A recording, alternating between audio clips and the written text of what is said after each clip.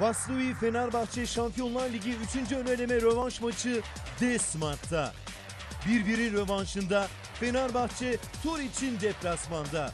Amaç Şampiyonlar Ligi'ne devam etmek, Romanya'da Vaslui'yi devirmek. Alex'in ortası. Kafa Oldu. Oldu. Şimdi oldu. Vaslui Fenerbahçe Şampiyonlar Ligi 3. öneleme rövanş maçı bugün saat 21'de naklen ve sadece D Smart 77. kanal Smart Spor'da.